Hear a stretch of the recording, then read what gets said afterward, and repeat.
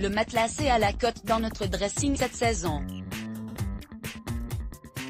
Et bonne nouvelle, le sac matelassé est l'accessoire qui reste et restera un intemporel à coup sûr. Voilà une bonne raison pour succomber enfin à cette tendance.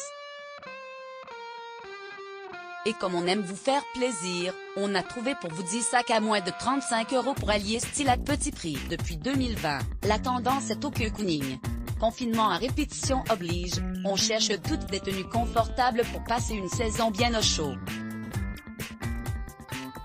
La technique du matelassé est donc l'effet à adopter sans plus attendre pour une sensation de protection et de réconfort. Défilez mon clé pourquoi le sac matelassé est un grand classique de l'iconique 2.55 de Chanel en passant par les dernières collections chez Balmain, le matelassé donne une allure intemporelle et chic à un sac à main.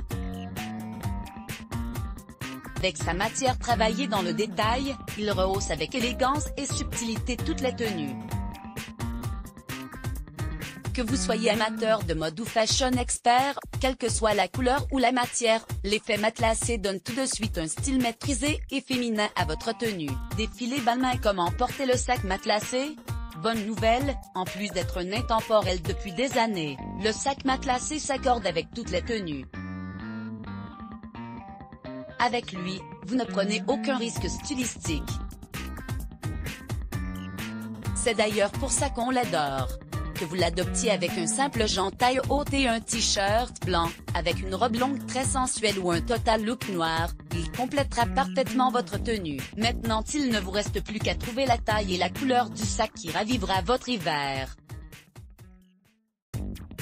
Une astuce pour celles qui aiment jouer les tendances à fond Osez le duo matelassé. Aperçu chez Fendi, cette technique de matière se décline également en jupe, en veste, en crop top et encore et toujours en sac. Une bonne raison de faire d'une pierre deux coups.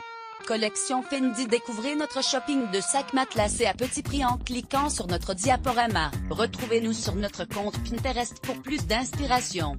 Mots-clés Let's Block ADS. Why?